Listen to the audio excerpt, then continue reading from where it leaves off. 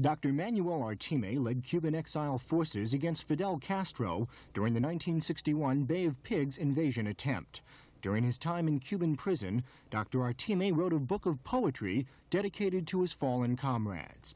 When President John F. Kennedy came to Miami in 1962, it was Artime who was his right-hand man and presented the American president with the 2506 Brigade battle flag.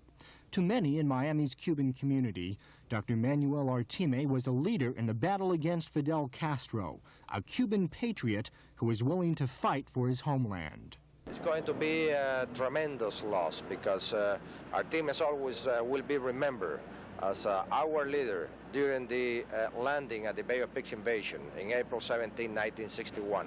As, as a doctor, I say again, his door always was open to anybody that needed him. So it's going to be a, a terrible uh, loss to the community. He was a man that uh, you could depend on him in every situation, a man that uh, Castro could not defeat, but cancer took care of him. In 1964, Dr. Manuel Artime wrote, It is our ambition that years from now, when we are already dead and our names are mentioned, people may at least say, these were men of ideals, of dignity and honor, who gave everything for their country. Funeral services will be held tomorrow. Al Sunshine, Channel 4 News.